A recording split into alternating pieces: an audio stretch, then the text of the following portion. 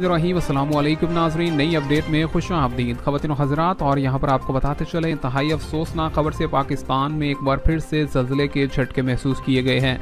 जी यहाँ खवतिन हजरात, आपको बताते चले कि पाकिस्तान में दीर, बालाकोट और इसी के साथ साथ मालाकंड के अंदर जल्जले के झटके महसूस किए गए।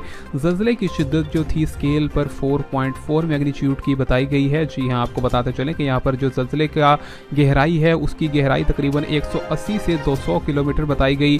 खवतिन हजरात जल्जले की नौीयत काफ़ी ज़्यादा तेज़ थी और जल्जले काफ़ी ज़्यादा शदीद तौर पर महसूस किए गए।